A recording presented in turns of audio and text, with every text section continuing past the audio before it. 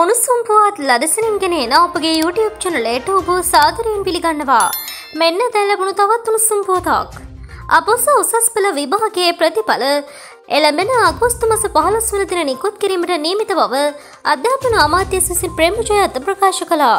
ඒ අද පාර්ලිමේන්තුවේදී එසේම අමාත්‍යවරයා පවසා සිටියේ මේ වසරේ පැවැත්වීමට නියමිත උසස් පෙළ විභාගය නොවැම්බර් මස පැවැත්වීමට කටයුතු යොදා ඇති බවයි. කෙසේ නමුත් ප්‍රතිඵල නිකුත්වීමට නියමිත මෙවර උසස් පෙළ විභාගය සඳහා සිසුන් තුන් ලක්ෂ හතලිස් පන්දහස් දෙසිය හතලිස් දෙදෙනෙකු මධ්‍යස්ථාන දෙදහස් හාරසිය තිස්සටකදී විභාගය සඳහා පෙනී සිටියා. මෙවැනි උණුසුම් පුවත් ලදසරින් දැන ගැනීමට අපගේ YouTube චනලය සබස්ක්‍රයිබ් කර බෙල්ලයිකනේ ක්‍රියාත්මක කරන්න.